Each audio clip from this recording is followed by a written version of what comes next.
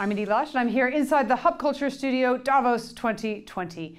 Absolutely delighted now to be joined by a repeat guest, Bob Garrett, the CEO of Hackensack Meridian Health. Great to be back. Thanks for coming along. Absolutely. So, I know that you've been talking about a lot of different subjects. One thing that has been a theme here that I wasn't expecting as much, but has sort of emerged is this idea around mental health, especially at work. Now, it's interesting as a healthcare company I wonder how you think about the mental health of your employees. Well, we're really very focused on that. Um, if you think about it, worldwide, a billion people have some sort of mental illness or an addiction disorder. We spend 70% of our time as a, as a globe uh, at in, in the workplace. Mm. So it's really important that we focus on the, the mental health of our uh, workforce. So there are, there are great examples of uh, some best practices. You know, there mm. are recognition programs that, um, you know, people want recognition, they need recognition, so there's um, automated recognition systems. We have, as an example, a uh, no email rule. So on the hmm. weekends, uh, people um, should not be answering emails. They need to spend time with their families mm -hmm. and mm-hmm. kind of recharge. We, uh, we're, you know, we make sure people take their uh, vacation time because that's mm -hmm. really um, important as well. And then this year we instituted a, uh, a new practice uh, called a no meeting zone. So mm -hmm. for two hours a day, we have supervisors spending time with their team members because the research has shown that um, team members want to spend time with their supervisors to, to get to know them better, and the supervisors should really know their, uh, their team members uh, better for, for good positive mental health.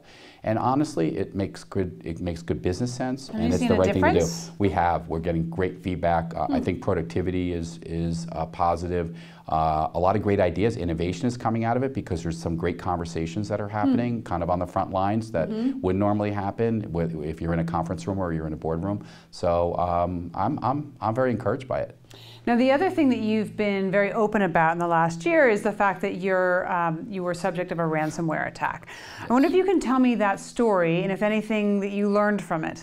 Yeah, there. Uh, you know, we've uh, we've actually uh, been public about the ransomware attack that happened uh, to Hackensack Meridian. It happened uh, this past December, mm -hmm. and uh, we were attacked by a, a, group, a criminal group out of out of Russia called Ryuk, R-Y-U-K. Mm -hmm.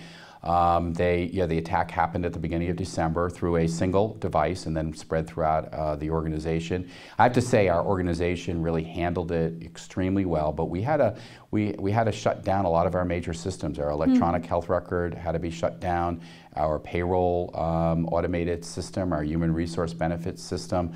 So people had to go back to manual systems. They had to go back to paper. Wow. One of the more practical things that we learned was that we didn't have enough paper on hand. and uh, we had to go out to, to places like Staples to buy more paper, which is uh, pretty wow. interesting. But a couple of lessons learned is, you know, as prepared, and we, we thought we were very well prepared, as prepared as organizations are, um, it's usually not enough, and you, you need to really think about what you have to do to prevent it, and also how, how do you eradicate it, and how do you recover when you are uh, attacked. Number two, um, don't automatically uh, rule out uh, paying ransom for a healthcare system like mm -hmm. ours. Patient safety is paramount. So you had to pay? Yeah, we did have to pay because, um, you know, uh, even though our teams were heroic and they did a great job on those manual systems, on those mm. paper systems, honest to God, I mean, they could not keep that pace up for a long period of time, and patient safety has to come first. So uh, we're sharing the story because, um, you know, we think, you know, it will be helpful to, uh, to others. And that was the other piece is, you know, I, I would encourage if you are attacked as an organization, when it's safe to go public, to go public because we all could learn a lot uh, from these experiences. I really thank you, Bob, for popping by the Hub Culture studio here in Davos to tell us a little bit more about healthcare, the front line uh, in the United States. I'm Edie Lush.